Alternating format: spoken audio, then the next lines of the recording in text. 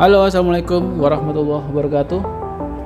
Kembali kita berjumpa dalam jalan-jalan di siang hari. Nah, kali ini kita akan review jalur yang ada di sekitar kota. Oke, nah kali ini kita sudah berada di Jalan Durian 1. Ini jalan padat ya.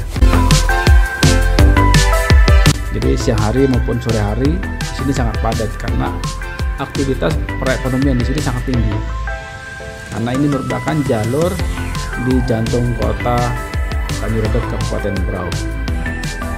Sini punya ruko-ruko, ada hotel, dan lain sebagainya.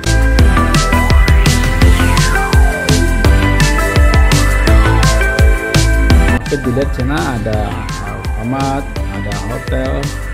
Nah, di kanan kiri, di kanan kita ya, kanan kita ada Hotel Palmi salah satu hotel eksekutif yang ada di tengah kota Tanjung Redep. Oke, kita mendekati dari persimpangan 4 antara Jalan Durian 1, SN Aminuddin, dan SA Maulana. Nah, karena kita mau ke arah jalur kanan, jadi kita ke jalan SA Maulana. Oke, di, di depan kita ada taman kecil yang bertuliskan Berau Bumi Batu Wakal. Kalau malam lampunya nyala ya. Tadi kanan kita ada Hotel Palmi, ada BNI, BNI, ada Hut. Nah di kiri kita ada calon gedung dari gedung Basnas daerah Pon.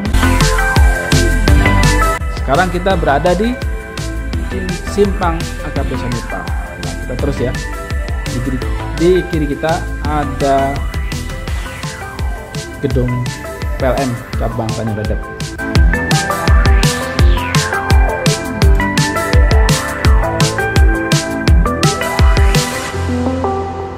Nah, kita sekarang berada di simpang dari Jalan Haji Isa 1, Haji Isa 2 maupun apa itu SA Maulana dan Jalan APT Pranoto.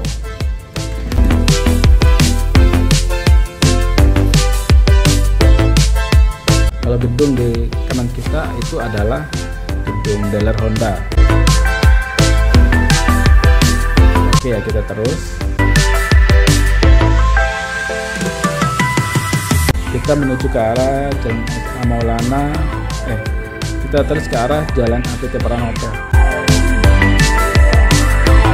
Di kiri kita ada jalur Jalan Manunggal,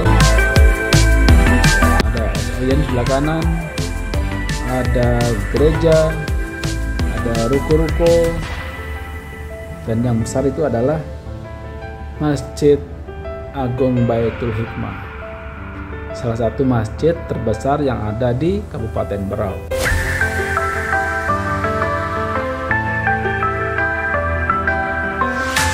Oke, nah sebelah kiri kita ada Jalan Andika.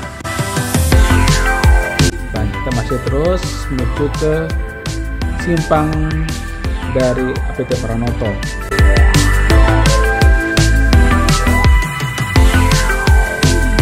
Kalau ke depan itu ke Abdurpati kita ke kiri.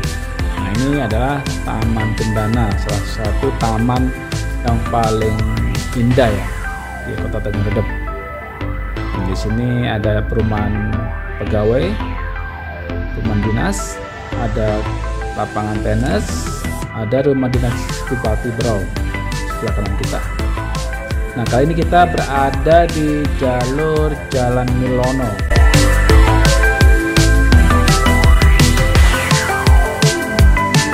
ini kawasan yang sangat teduh ya.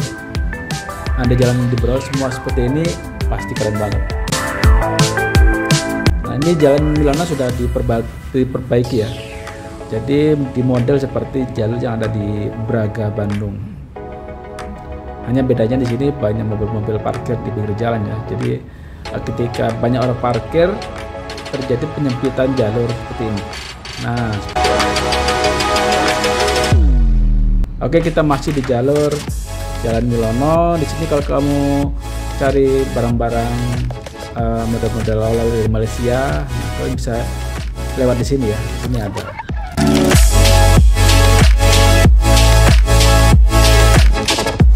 Oke kita masih di jalur Jalan Milono.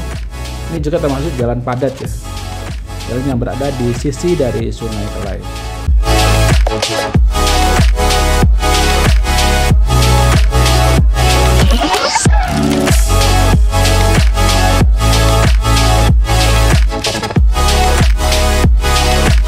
kita sudah di ujung dari Jalan Milono. Di sini ada pasar kecil ya. Pasar yang berada di sisi dari Sungai Kelai.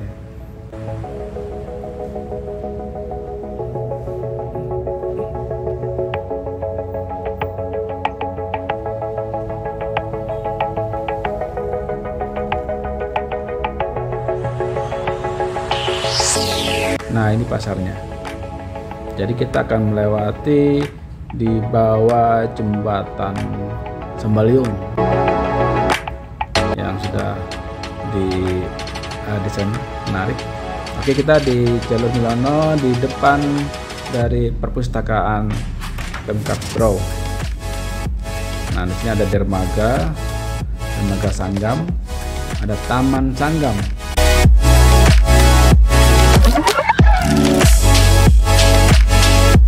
Oke kita lanjut. Ini kita di jalur jalan Pedikuna. Ini merupakan jalur yang juga sangat padat dan hanya dilalui satu arah. Jadi kita tidak boleh melaju dari depan sana harus dari arah uh, pasar sanggam atau arah Petian sanggam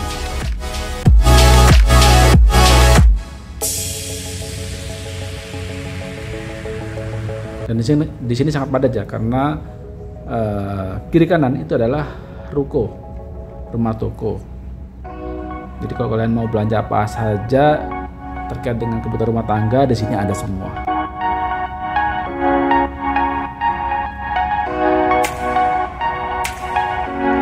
Jadi jalur ini berada di sisi dari sungai Kelai. Oke kita sudah dekat dengan persimpangan antara jalan uh, Pediguna terus jalur Jenderal Sudirman dan Yosudarso sampai jumpa di jalur berikutnya. Salam my trip my lusukan